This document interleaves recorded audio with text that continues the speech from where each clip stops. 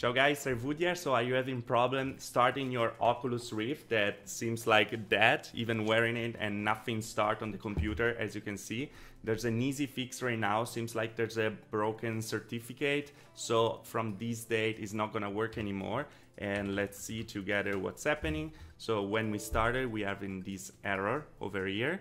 So there is an easy fix and it's gonna be just to go here on the date and do adjust date we take out set time automatically and we have to roll back to change the date to some date even like three days ago i'm gonna do like uh, february 27th to be sure that it's gonna work we do change and then we are gonna have to restart the computer so let's go here and restart the computer in the meanwhile that the computer is restarting, thank you so much for watching. Feel free to check out all the other video in the channel. And if you like what you see, you want to keep being updated about VR and tech in general, please consider to subscribe, clicking or stopping the subscribe button so you don't miss a thing. That'd be super, super appreciated. Uh, will help a lot the channel.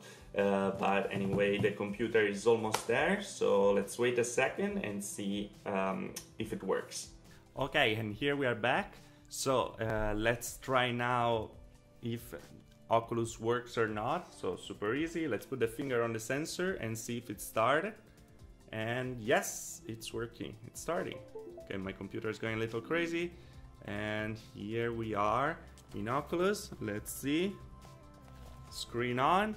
So you can see. So yes, it works. We are in. So guys, this is an easy fix. Uh, probably you're gonna have some problem with um, other apps on Windows Store because some apps they need to be updated in the date to work. So if you want to play, uh, just do that, and for sure Oculus is gonna come out with an easy fix soon. But in the meanwhile, if you wanna play, uh, now you can. So thank you so much for watching again. I see you guys in the next video. Ciao.